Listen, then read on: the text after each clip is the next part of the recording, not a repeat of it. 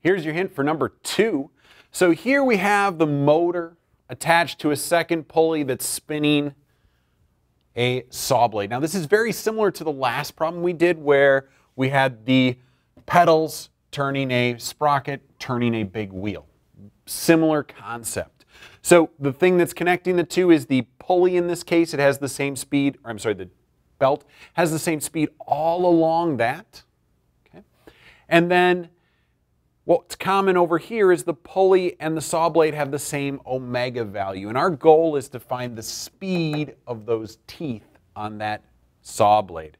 So in order to do that, I'm going to need to know the radius of the saw blade, which they give to me, and how fast it's rotating angularly.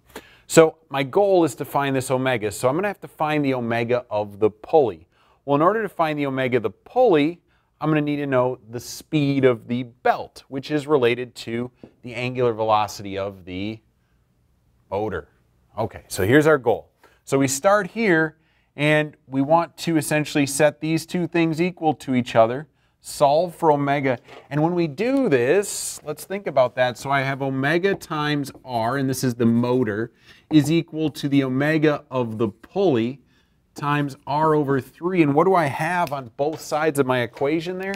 I have that r, so that cancels out for us. You should then be able to find the omega for the pulley.